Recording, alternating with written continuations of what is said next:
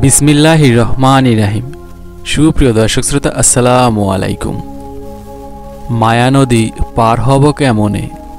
ভাবি মনে, মায়া নদী পার হব কেমনে? মায়ানদীর উদ্ধাধার নাইকতাতে কুল কিনার। ঢেউ উঠেছে দক্ষিণা তুফানে।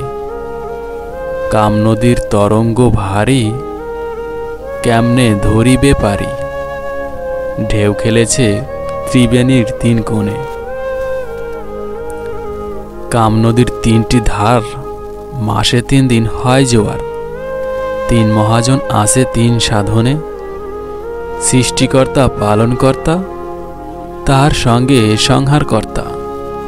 চুম্বুক পাথর ধরেছে সন্ধানে। নদীর বান দেখিয়া কত নাইয়া, নাও বান্দিয়া বৈঠা থুইয়া পালাইয়াছে টানে। রসিক নাইয়া হইলে পরে দুই একজনে যাইতে পারে। ঢেউ সারিয়া নাও ধরে উজানে। দেখিয়া সেই নদীর কাটাল রজ্জবের হয়েছে বেহাল।